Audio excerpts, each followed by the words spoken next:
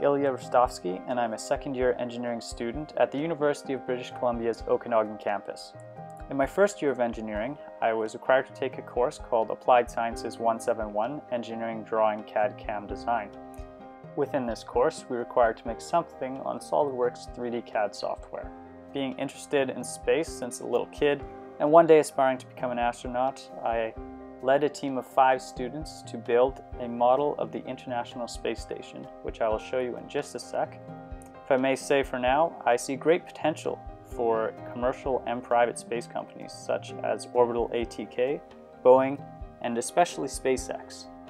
As we know, in 2012, SpaceX made history with their Dragon spacecraft becoming the first commercial spacecraft to deliver cargo to the International Space Station and then safely return cargo back to Earth.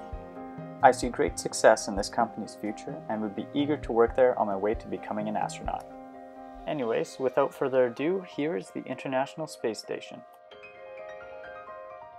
The station is actually in its reverse orientation here. If you follow my cursor to the starboard side of the station, you can see the S56 truss segment.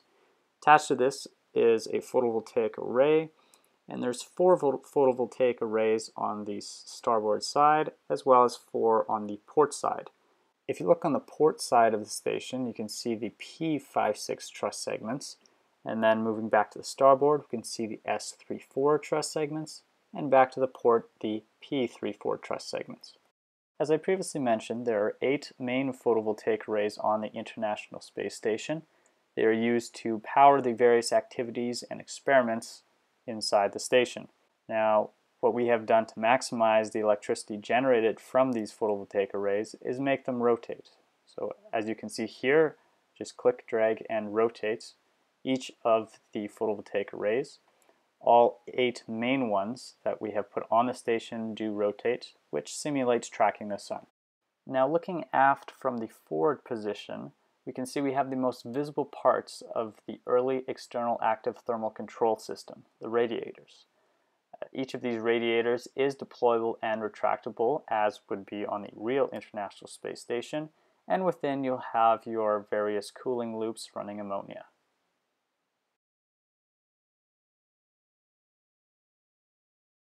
If we now orientate ourselves in a zenith location looking nadir, we see we have some pumps on the external surface of the trusses. Uh, we have actually stamped NASA um, and ISS into them. And you can imagine these would help pump the ammonia for the radiators which I've just shown. Moving in the port direction along the station, we can locate the S1 and Z1 truss segments. On these segments on the actual space station, there is another set of early external active thermal control systems. However, due to time constraints, we could not add them here. Now, if we locate the S0 truss segment in the center of the station, we can see that directly in front of it is a pressure mating adapter, which, as you can see here, is attached to Rassvet, which is formerly known as the docking cargo module. Now looking in the nadir direction, you can see we've added photovoltaic arrays to the Rassvet module, as well as we have docked the famous Russian Soyuz spacecraft to the nadir location of the Rassvet module. Moving aft from the S0 truss segment, we can locate the Russian modules Zarya and Zvezda, to which we have attached an automated transfer vehicle. Further in the nadir direction is the Nauka multi-purpose laboratory module. Attached to this are two research modules and the famous Russian Soyuz spacecraft. Moving to a more zenith location on the space station, we can see we've added some additional parts, such as a science power platform which contains more photovoltaic arrays. If we look a little closer, we can locate two astronauts on the zenith location of the science power platform, in addition to the photovoltaic array attached to the P6 truss. Moving forward from pressure mating adapter 1, we can locate the Unity module or node 1. Attached to this is the Z1 truss segment and the Quest joint airlock. Upon closer look at the extravehicular hatch, you can notice we've made use of a simple gear and pulley system. By turning the wheel, I can extend the pillars, thus locking the door. Making use of a simple hinge, I can open and close the extravehicular hatch to the airlock. If we examine the airlock as a whole from a section view, you'll notice we have three Zenith storage compartments and one Nadir storage compartment. If you now focus your attention to the equipment lock, You'll see I've included storage space to store possibly extravehicular mobility units, or EMUs, Russian Orlan spacesuits, or perhaps other spacewalk hardware. To separate the equipment lock from the crew lock, I've designed my own intravehicular hatch. Once astronauts enter the crew lock, they can close the intravehicular hatch, depressurize, and exit through the extravehicular hatch. Upon completing the spacewalk, astronauts can enter and close the extravehicular hatch, repressurize, and then open the intravehicular hatch. Moving forward from the Quest joint airlock, we can locate the United States Destiny Laboratory. Housed on the external surface of this module are two external stowage platforms, ESP-1 and ESP-2 both of which hold orbital replacement units. Due to project requirements, we have added two added modules and an extra pressure mating adapter. However, in the nadir direction of the second module, we have added the Columbus European Laboratory, and then aft of this is the cupola. Zooming in on the cupola, you will notice its seven windows and shutters.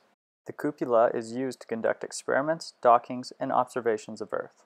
You may also notice we have added external handles for spacewalkers. Such handles can also be found on many different modules of our space station. Continuing forward, we can locate the Harmony module, or Node 2. Further forward from this is Pressure Mating Adapter 2. Again, due to project requirements, we added two additional modules in the zenith and nadir locations of Node 2. Moving in the port direction, we can locate the Kibo module, or the Japanese experimental module. In the zenith location of this pressurized module, we can locate the experiment logistics module. Further in the port direction lies the remote manipulator system and exposed facility. Experimental payloads are fully exposed to the space environment on the exposed facility.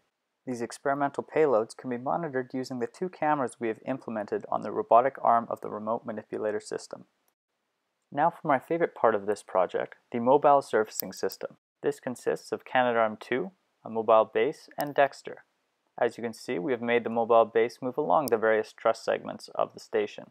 This allows the mobile servicing system to catch future spacecraft and orientate modules as needed.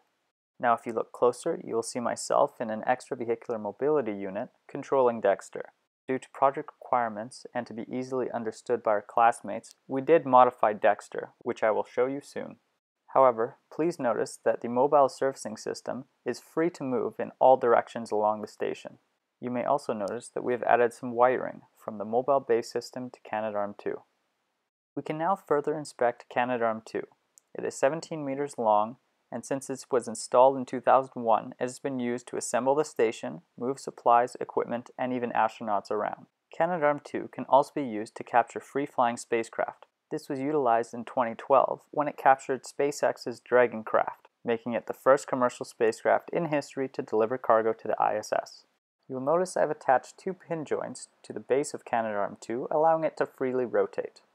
Now again, due to project requirements, I made Canadarm2 into eight concentric cylinders that fold within each other.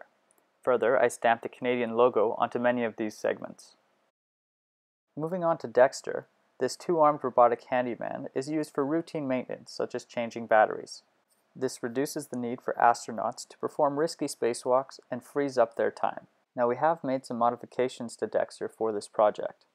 You will notice that I am externally controlling Dextre and free to rotate in many directions. Upon zooming in on each of the ligatures of Dextre, you will notice each of them are free to rotate in the designated direction, giving the user complete control. You may also notice that each of Dextre's arms are able to move up and down and rotate along its base. The base itself also consists of two unique joints, giving Dextre complete maneuverability. As I previously mentioned, we did change the design of Dextre to be easily understood by our classmates as well as for project requirements. I have added claw-like extremities to Dextre and mated each talon so that it mirrors the motion of its opposite talon. The talons then attach the base of their claw using ball and socket joints. This concludes the SOLIDWORKS 3D CAD software project in which we have built a model of the International Space Station. I hope you enjoyed this video and share my aspiration in one day reaching this feat of human innovation.